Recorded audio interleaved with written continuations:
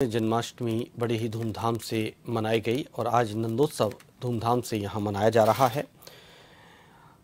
नंद के आनंद भय, जय कन्हैया लाल की जयकारे सुनाई दिए तो वहीं इस पावन अवसर पर डीग ज़िले में चहू ओर धूम रही और कृष्ण भक्तों ने प्रात मंदिरों में विधि विधान से पूजा अर्चना की और उपवास रखा। घरों और मंदिरों को फूल और गुब्बारों से सजाया गया तो शहर के राधा वल्लभ नारायण भगवान और राधा कृष्ण मंदिर में भी उल्लास देखा गया। प्रमुख मंदिरों में कृष्ण जन्मोत्सव मनाया गया। इधर ग्रामीण इलाकों में भी कृष्ण जन्माष्टमी के पर्व पर कार्यक्रम आयोजित हुए, जहाँ गाँव अऊ में छोटे छोटे बच्चों को भगवान श्री कृष्ण और बलदाव और राधा कृष्ण के रूप में झांकियाँ सजाकर गाँव के प्रमुख मार्गों से निकाला गया।